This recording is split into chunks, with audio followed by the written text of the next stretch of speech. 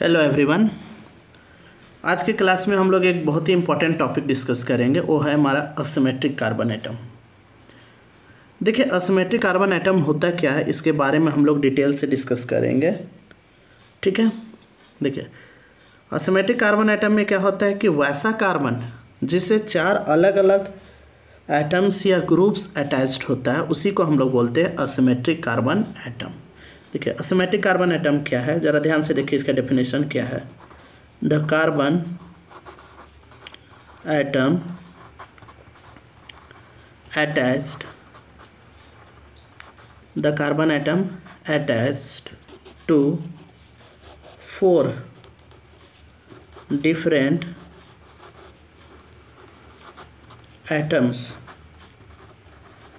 or groups is called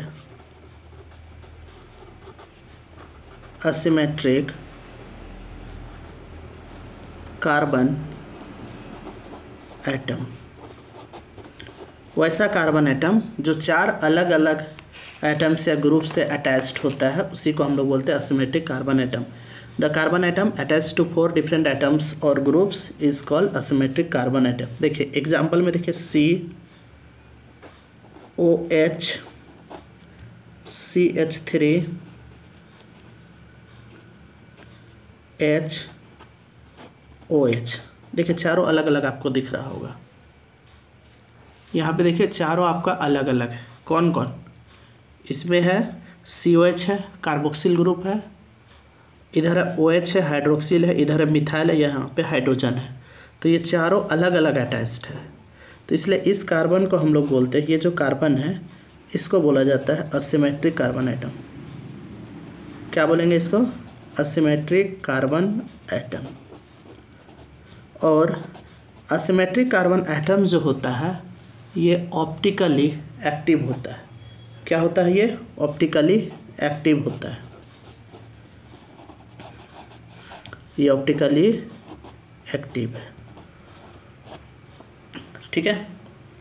तो asymmetric carbon atom का definition क्या था? The carbon atom attach to four different atoms और groups is called asymmetric carbon atom अब ध्यान से देखिए ये जो कार्बन है इसे चार अलग अलग एटम्स और ग्रुप्स आपको दिख रहा होगा। ये हाइड्रोजन एटम है ये ओ OH, ये सब सब ग्रुप्स है तो इसको हम लोग असिमेट्रिक कार्बन एटम बोलेंगे। और जिसमें असिमेट्रिक कार्बन एटम होता है वो ऑप्टिकली एक्टिव होता है। पर ऐसा कोई ज़रूरी नहीं है। कि अगर असिमेट्रिक कार्बन आइटम है तो ऑप्टिकली एक्टिव होगा। ऐसा कोई ज़रूरी नहीं है। बहुत सारे कंपाउंड ऐसे हैं जिसमें असिमेट्रिक कार्बन आइटम है, फिर भी वो ऑप्टिकली इनएक्टिव है। ठीक है? तो इसमें देखिए कौन कौन सा, अगर हम इसमें बात करें तो यहाँ पे हम ले सकते हैं कुछ एग्ज़ाम्पल में। देखिए, हम लोग मेसो टाटारिक एसिड ले सकते हैं। इसको हम लोग यहाँ पे पहले लिख लेते हैं क्या है so. However there are some molecule however there are some molecule which have have asymmetric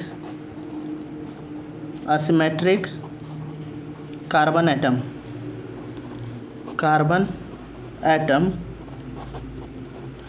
but is optically inactive. पर ये ऑप्टिकली कैसा है? ये ऑप्टिकली इनएक्टिव है। Carbon atom but is optically inactive है। क्या है ये? ऑप्टिकली इनएक्टिव है। ठीक है? ध्यान से देखिए यहाँ पे क्या लिखे हैं। However there are some molecule which have asymmetric carbon atom but is optically inactive asymmetric carbon atom होने के बावजूद भी ऑप्टिकली इनएक्टिव है। ठीक है? इस चीज़ को देखिए, हम यहाँ पे एग्जांपल में लिख रहे हैं। इसमें ध्यान से देखिए।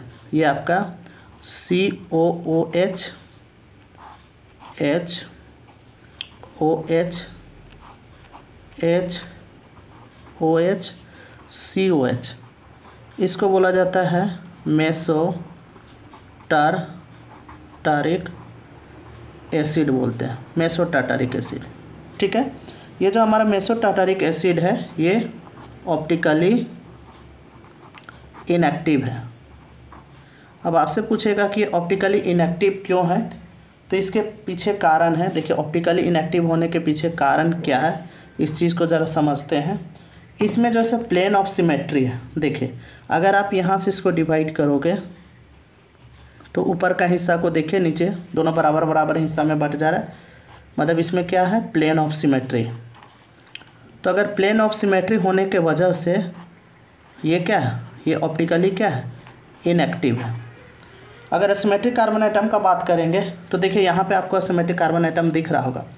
इस कार्बन को देखिएँगे तो यहाँ पे देखिए इधर से एच जुड़ा हुआ है, इधर से ओ एच जुड़ा हुआ है, इधर से सी ओ एच जुड़ा हुआ है, और इधर से इतना बड़ा ग्रुप जुड़ा मतलब ये अलग है एसिमेट्रिक कार्बन आइटम हुआ। अगर हम इसको देखेंगे, ये इसमें भी देखिए, इधर एच है, इधर ओ एच है, इधर से एच है।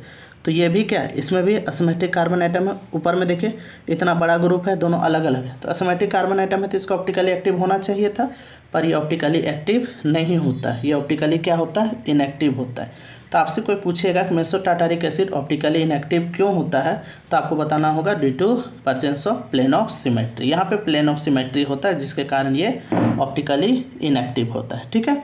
इसमें देखिए, अगर ऑप्टिकल नेट ऑप्टिकल रोटेशन का बात करेंगे तो एक क्लॉकवाइज रोटेट करेगा, दूसरा एंटी क्लॉकवाइज रोटेट करेगा। तो ओवरऑल नेट ऑप्टिकल रोटेशन जो होता है, वो ज़ीरो होता है। तो यहाँ पे इस बात को हम लोग लिखेंगे। नेट ऑप्टिकल रोटेशन जो होगा नेट ऑप्टिकल रोटेशन वो हम लोग को कितना हो जाएगा? ज़ीरो हो जाएगा। ठीक है? और भी हम लोग ले सकते हैं एग्ज़ाम्पल में। और भी हम लोग एग्ज़ाम्पल देख सकते हैं। देखिए क्या है नेक्स्ट एग्ज़ाम्पल है। इस चीज़ को यहाँ पे लिख देते देखिए। C H three H C L फिर H C L C H three इसमें भी देखिए। ये देखिए, इसको देखिए। ये कार्बन को देखिए। यहाँ से मिथाइल है, इधर हाइड्रोजन है, इधर क्लोरीन है, इधर इतना बड़ा ग्रुप है। मतलब ये अलग अलग है। मतलब ये असिमेट्रिक कार्बन आइटम होगा। इसमें भी देखिए सी एस थ्री है एच है सी एल है, इधर ये अलग है तो ये भी असिमेट्रिक कार्बन आइटम है। तो ये असिमेट्रिक कार्बन आइटम है तो इसको ऑप्टिकली एक्टिव होना चाहिए, पर ये नहीं होगा। ये भी क्या है? ऑप्टिकली इनएक्टिव है। अब आपसे पूछेगा कि ये ऑप्टिकली इनएक्टिव क्यों है? तो आपको बताना होगा कि यहाँ से अगर आप एक लाइन ड्रॉ करते हो तो आप इसको देखिए, ऊपर का हिस्सा को देखिए, नीचे, दोनों बराबर। मतलब यहाँ पे क्या है? प्लेन ऑफ़ सिमेट्री है। तो अगर जहाँ पे भी प्लेन ऑफ़ सिमेट्री अगर रहा मतलब ये हमारा ऑप्टिकली क्या हो जाएगा? इनएक्टिव हो जाएगा। ठीक है? ये हमारा कौन सा? ये जो कंपाउंड है, ये ऑप्टिकली क्या है? इनएक्टिव है। इसका अगर नाम लिखेंगे तो नाम देखो कैसे लिखेंगे। पहले लिखेंगे मेसो उसके बाद क्या लिखेंगे? वन टू थ्री फोर तो देखिए टू और थ्री पे दो क्लोरीन है तो हो जाएगा meso two three di chloro उसके बाद कितना कार्बन है? चार कार्बन है। एक, दो, तीन, चार तो हो जाएगा ब्यूटेन। मतलब meso two three dichloro butane है। क्या है ये? Meso two three dichloro butane है। अब इसमें भी अगर नेट ऑप्टिकल रोटेशन का अगर हम बात करें, इसको ध्यान से देखिए, यहाँ तक आप लोग क्या कीजिएगा, इसका स्क्रीनशॉट ले लीजिएगा। यहाँ से इस चीज़ को आप स्क्रीनशॉट ले लेंगे, क्योंकि जगह नहीं बन रहा है, इसलिए थोड़ा सा हम इसको शिफ्ट करेंगे यहाँ पे। देखिए, यहाँ तक आप लोग स्क्रीनशॉट ले लिए होंगे। अब देखिए यहाँ पे क्या, इधर हम लिख रहे हैं। तो ये हमारा क्या हो गया प्लेन ऑफ़ सिमेट्री है। मैसो टू थ्री डाइक्लोरोब्यूटेन इसका नाम होगा। एक इधर से रोटेट करेगा क्लॉकवाइज और दूसरा एंटी क्लॉकवाइज रोटेट करेगा। तो नेट ऑप्टिकल रोटेशन कितना हो जाएगा? नाम मेसोटा मेसो टू थ्री डाइक्लोरोब्यूटेन हो गया। और इसमें नेट ऑप्टिकल रोटेशन जो होगा नेट ऑप्टिकल रोटेशन ये हम लोग का कितना हो जाएगा? ज़ीरो हो जाएगा। ठीक है? नेट ऑप्टिकल रोटेशन कितना हो गया? ज़ीरो और ये जो कंपाउंड है असमेटिक हमने यहाँ पे क्या देखे थे? यहाँ पे असमेटिक कार्बन आइटम था तो ये ऑप्टिकली एक्टिव है। लेकिन ये वाला कंपाउंड यहाँ पे जो हम लोग लिखे थे बट ऐसा कोई ज़रूरी नहीं है कि अगर असमेट्रिक कार्बन आइटम है तो ऑप्टिकली एक्टिव होगा, ऐसा कोई ज़रूरी नहीं है। जैसे इस केस में हम लोग देख रहे हैं कि यहाँ पे असिमेट्रिक कार्बन एटम है, फिर भी ये ऑप्टिकली इनएक्टिव है। तो क्यों? क्योंकि यहाँ पे प्लेन ऑफ़ सिमेट्री है, इसीलिए। तो ये ये हमारा हो गया। ये असिमेट्रिक कार्बन एटम है, ये असिमेट्रिक कार्बन एटम है। एक क्लॉकवाइज रोटेट करेगा, दूसरा एंटी क्लॉकवाइज तो ओवरऑल नेट ऑप्टिकल रोटेशन कितना हो जाएगा? ज़ीरो हो जाएगा, ठीक है? चलिए। अब इस चीज़ को हम यहाँ पे लिख दे रहे हैं। देखिए, ध्यान से देखिए। इस बात को हम लोग यहाँ पे लिखते हैं। क्या लिखेंगे? लिखेंगे मेसो टाटारिक एसिड हैज़ कितना सिमेट्रिक कार्बन आइटम है? दो सिमेट्रिक कार्बन आइटम है। एक यहाँ है, एक यहाँ पे meso tartaric acid has two asymmetric carbon atom but it is optically क्या होगा? इनएक्टिव क्यों ऑप्टिकली इनएक्टिव होगा? Due to presence of plane of symmetry यहाँ पे क्या है? प्लेन ऑफ़ सिमेट्री है, जिसके वजह से ये ऑप्टिकली इनएक्टिव हो जाएगा। ठीक है? किसके वजह से? ये देख रहे हैं, यहाँ पे क्या है? Meso tartaric acid has two asymmetric carbon atom यहाँ पे दो असिमेट्रिक कार्बन आइटम है। असिमेट्रिक कार्बन आइटम होने के बावजूद भी but it is optically inactive due to presence of plane of symmetry ठीक है?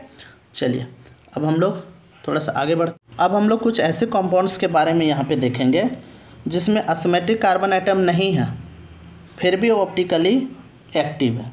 देखिए क्या है so there are some compounds. There are some compounds which don't have have asymmetric carbon atom but are optically active फिर भी optically active है। ठीक है, देखिए।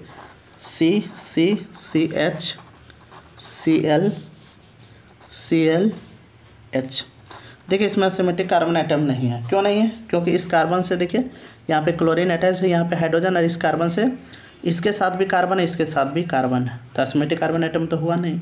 इसमें भी देखिए, इसमें भी नहीं, क्योंकि इस कार्बन से इधर कार्बन है कार्बन है अलग अलग तो है नहीं। इसमें भी नहीं है। फिर भी ये ऑप्टिकली क्या है? एक्टिव है। क्या है ये? ऑप्टिकली एक्टिव है। ठीक है? तो आज के क्लास में हम लोग डिस्कस किए कि अस्मेटिक कार्बन आइटम क्या होता है। क्या अस्मेटिक कार्बन आइटम है तो ऑप्टिकली एक्टिव होगा और नहीं होगा? तो नहीं होगा तो क्यों नहीं होगा? ठीक है? इन सब चीज़ों के बारे में हम लोग इस आज के क्लास में डिस्कस किए। ठीक है? चलिए तो नेक्स्ट क्लास में हम लोग नेक्स्ट वीडियो देखेंगे। तब तक के लिए जय हिंद जय भारत जय झारखंड।